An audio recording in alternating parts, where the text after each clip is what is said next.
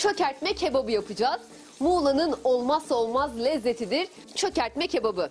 Ustam malzemelerimiz neler? Hoş geldiniz. Hoş bulduk. Etimiz var. Antrikotumuz. Kuzu, dana. Dana. Dana. Evet. Sebzemiz var. Domates sosumuz var. Kendi bahçemizden. Oo. Yoğurdumuz var. Kese yoğurdumuz. Kendimiz yaptığınız. üretiyoruz. Evet. Kibrit patatesimiz var. Evet, kibrit patates çok güzel görünüyor. İncecik soymak gerekiyor. Bunu görüyorsunuz. En önemli püf noktası suyunun İçinde bir saat beklemekte. evet nişastasının gitmesi için. Daha çıtır, daha güzel olması. Evet, amacıyla. Şimdi o zaman ne yapıyoruz ustam? İlk önce İlk önce etimizi atıyoruz. tereyağı mı, zeytinyağı mı? Tereyağı. Of, daha da lezzetli olacak. Etimizi tereyağımıza bir güzel ilave ediyoruz. Jülyen doğranmış et bakın görüyorsunuz. İnce ince jülyen doğradık. Tereyağında kavuruyoruz. Çökertme kebabı. Kapya biberimiz var. Kırmızı kapya. Birazdan onu da ilave edeceğiz. Biraz soteledikten sonra atacağız. Muğla dendiğinde akla gelen ilk lezzetlerden biridir. Ve şu anda bulunmuş olduğumuz ortam da gerçekten harika. Mükemmel bir konaktayız. Evet yayla havası, Karabağlar Yaylası, Muğla'ya, Ula'ya gelen herkes muhakkak buraya gelmeli. Ve bugün de böyle hafif bir yağmur altında çekimlerimizi yapıyoruz. Ortam şahane. Yemyeşil bir alan. Çok sevdiğim böyle bir yayla havası. Etlerimiz tereyağında kavrulmaya devam ediyor. Harika koktu bu arada. Tereyağının kokusuna bayılıyorum gerçekten. Burası zeytinyağı memleketi ama tereyağı da kullanılıyor yemeklerde. Lezzetine daha lezzet katsın diye. Çökertme kebabında da biz bugün tereyağı kullanıyoruz. Kırmızı kapya biberlerimizi de ilave ettik. Jülyen doğradığımız. Aynı şekilde doğradık etle. Hem görseli hem boyutları birbirine uygun olsun. Burada etimiz kavrulurken patatesimizi kızartmamız gerekiyor. Tamam. İçeri. Tamam o zaman biz de şu anda bulunmuş olduğumuz tesisin mutfağına gidelim ve patateslerimizi bir güzel kızartıp çıtır çıtır yiyelim. Evet.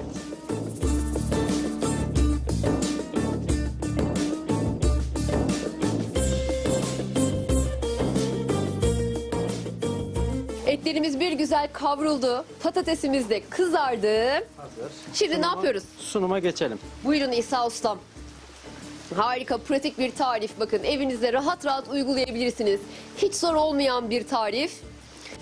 Süzme yoğurdumuzu önce tabağımızın altına döşüyoruz bakın. Kızarttığımız çıtır patateslerimizi yoğurdun üzerine koyduk. Harika bir görüntü. Herkesin seveceği bir yemek bu, söyleyeyim. Çok güzel. 1970'li yıllarda Bodrum'da çökertmede yaşayan bir usta. Yeni lezzet aramaları yapıyor, yeni tarifler üretiyor, yapıyor. Ve bu tarifi, çökertme kebabının tarifini çıkartıyor ortaya. Ardından bir yarışmaya katılıyor. Yarışmada yaptığı bu tarif birincilik alıyor. Sonra da kendi çökertmeli olduğu için madem öyle diyor bu kebabın adına çökertme kebabı diyeyim. Sonra çok herkes tarafından beğenildiği için menülere giriyor, ün kazanıyor ve bugün de Muğla'nın en leziz yemeklerinden biri olarak menülere giriyor. Şimdi patatesimizin üstüne yine yoğurt mu koyuyoruz? Yoğurt koyuyoruz. Ah yoğurda da bayılırım. Patatesin ve yoğurdun uyumu da mükemmeldir.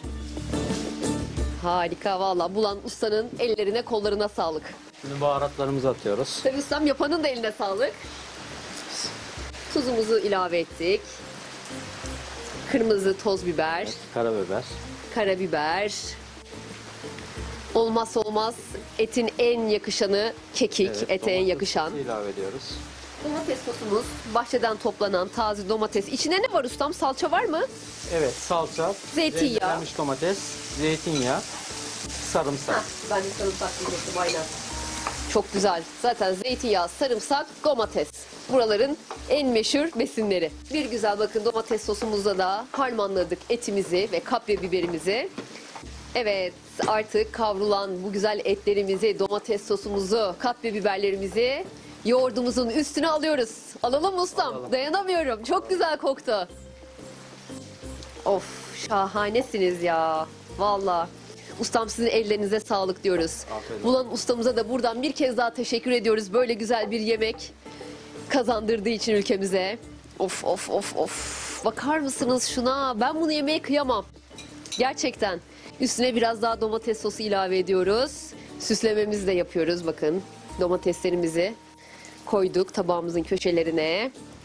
Maydanozumuzu da üstüne bir bayrak gibi diktik. Oh, kekikle de renklendiriyoruz tabağımızı. Ustam ben bunu nasıl yiyeceğim? Yemeğe kıyamaz insan. Ben bunu tabii e, fotoğrafını çekip sosyal medyada paylaşmak istiyorum. Esir Genç Instagram adresim, Dünyayı Geziyor Facebook adresim. Şöyle fotoğrafını çekelim ve sosyal medyada paylaşalım. Canınız çekerse yapın. Tarifini verdim. Ama yok bu ortamda yemek istiyorum diyorsanız Karabağlar Yaylası'na gelin ve bu tarihi harika konakta İsa ustamın elinden çökertme kebabını yiyin diyorum. Ustam çatal bıçak alabilir miyim? Ben bu kebabı yemeden gitmem. Tadına bakmadan gitmem. Bakar mısınız şahane bir görüntü. Ellerinize kollarınıza sağlık. Hmm, şahane bir lezzet. Harika bir sunum. Sosundan, patatesinden, etinden. Bakar mısınız? Tadına bakmak için çok heyecanlıyım. İşte Muğla'nın en iyi şeflerinden İsa Ustam'ın elleriyle hazırladığı çökertme kebabı. Ustam ya var ya şöyle sosundan alayım, etinden alayım, patatesinden,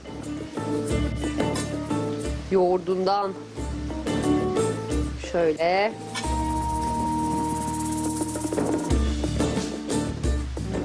Hmm, hmm, hmm. Ustam Afiyet olsun. mükemmel olmuş.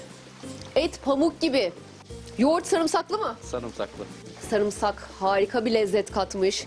Patatesin o çıtırlığı patatesi daha da lezzetlendirmiş.